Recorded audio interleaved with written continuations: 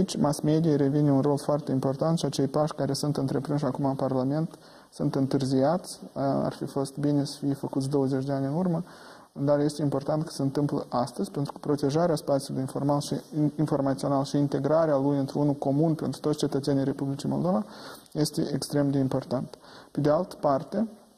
este adevărat și eu am așteptări mai mari de la serviciile noastre secrete, de la instituțiile care sunt menite să apere ordinea constituțională,